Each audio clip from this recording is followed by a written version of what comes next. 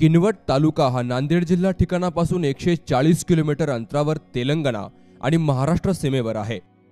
महाराष्ट्राची राजधानी मुंबई यापासून अत्यंत दूर असलेला हा किनवट तालुका. या ठिकाणी विविध आदिवासी जमाती मग त्यामध्ये भिल्ल गोंड पारधी कोलाम आंध्र अशा जातीचे लोक राहतात.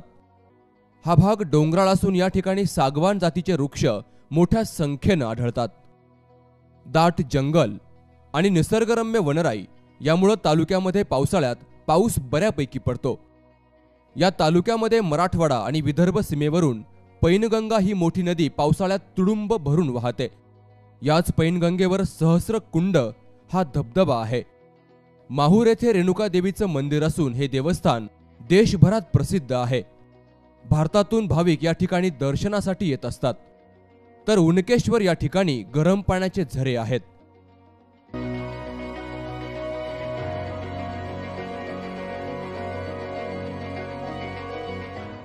या उपविभागामध्ये दहा शासकीय अनुदानित आश्रमशाळा आयएसओ मानांकन प्राप्त झाल्या आहेत. तसेच एकशे बारा अंगणवाड्या आयएसओ मानांकन प्राप्त झाल्या असून पुढील टप्प्यामध्ये सत्तर अंगणवाड्यांचं काम प्रगतीपथावर आहे. आदिवासी लोकांना चांगल्या सवलती मिळाव्यात आणि चांगलं शिक्षण मिळावं. आदिवासी माणसाला योग्य पद्धतीनं पुढे जाता यावं. आदिवासी जमातीच्या विकासासाठी शिक्षण हा एकमेव पर्याय असून याद्वारे त्यांचा विकास होऊ शकतो. यासाठी जोरदार प्रयत्नही या ठिकाणी सुरू आहेत.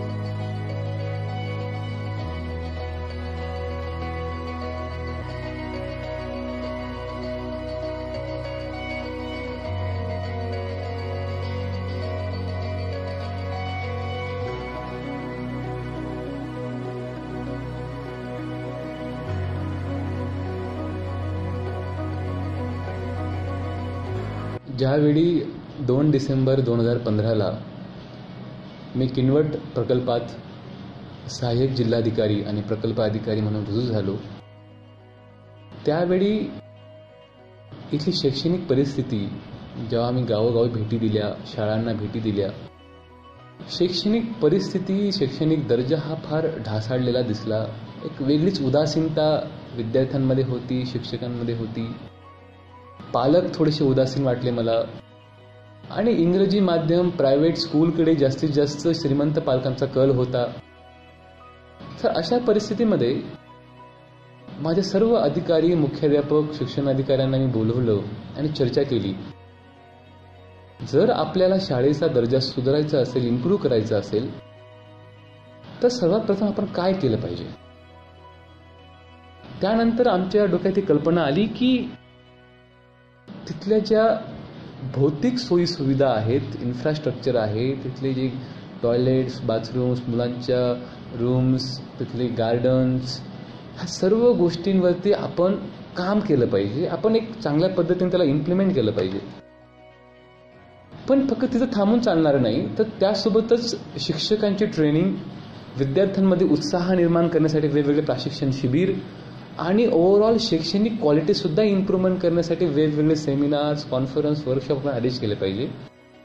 आणि त्यानंतर माझ्या डोक्यात कल्पना आली की आपण जर हे सर्व करत असू तर आपल्या शाळा ह्या आय एस ओ दर्जाच्या आणण्यासाठी एक स्टेप अजून पुढे गेलं पाहिजे आणि आय एस ओ दर्जा आपण मिळवला पाहिजे.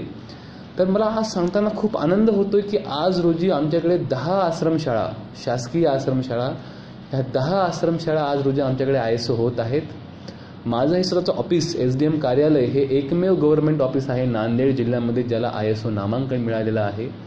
आणि त्यासोबतच एकशे वीस अंगणवाड्या माहूर आणि किनवट दोन तालुक्यातील यांना आय एस ओ दर्जा मिळालेला आहे. त्यासोबतच एकशे ऐंशी जिल्हा परिषद शाळा ह्या आमच्या डिजिटल झालेल्या आहेत. म्हणजे जवळजवळ साडेतीनशे स्ट्रक्चर्स गव्हर्नमेंट स्ट्रक्चर्स हे आज रोजी आय एस ओ किंवा डिजिटल झालेले आहे.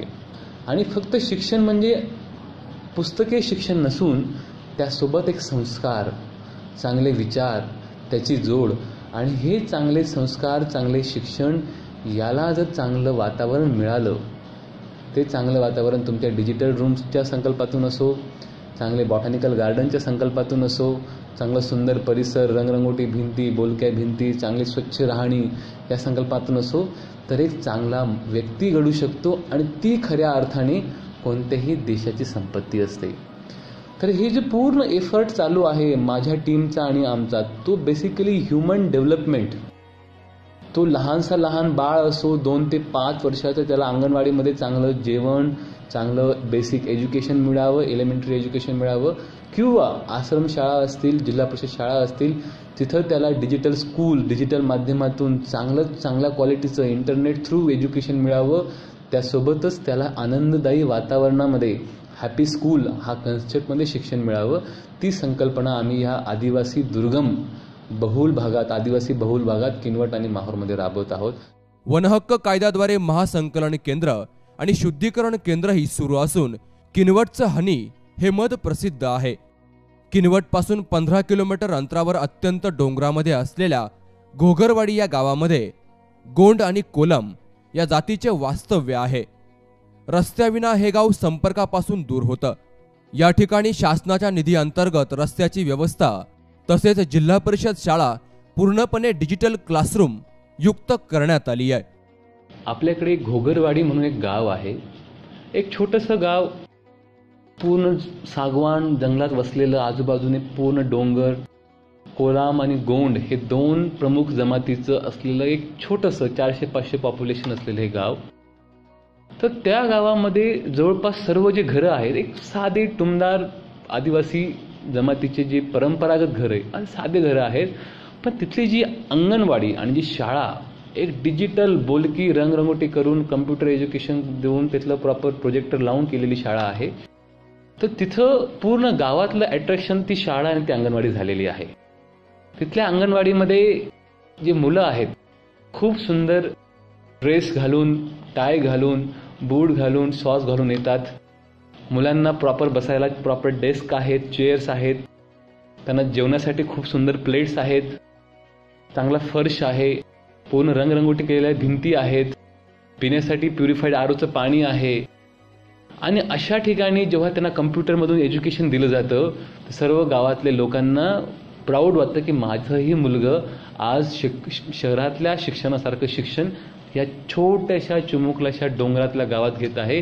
ज्या गावामध्ये रस्ताही नव्हता तर त्या ठिकाणी आम्ही ह्या वर्षी अठ्ठ्याण्णव लाखाचा एक नवीन रस्ता मंजूर करून दिला पण शिक्षणामध्ये कसलंही कॉम्प्रोमाइज नाही आहे आणि जेव्हा ह्या गोष्टी आमचे सर्व अधिकारी बघतात कर्मचारी बघतात त्यांनाही खूप बरं वाटतं की खऱ्या अर्थाने जी डिजिटल क्रांती जी मान्य पंतप्रधान नरेंद्र मोदीचं स्वप्न आहे जे डिजिटल क्रांती प्रत्येक गावात जायला पाहिजे ते आज खऱ्या अर्थाने किनवटमध्ये डोंगर दऱ्यात आणि खेड्यापाड्यात दिसायला मिळत आहे.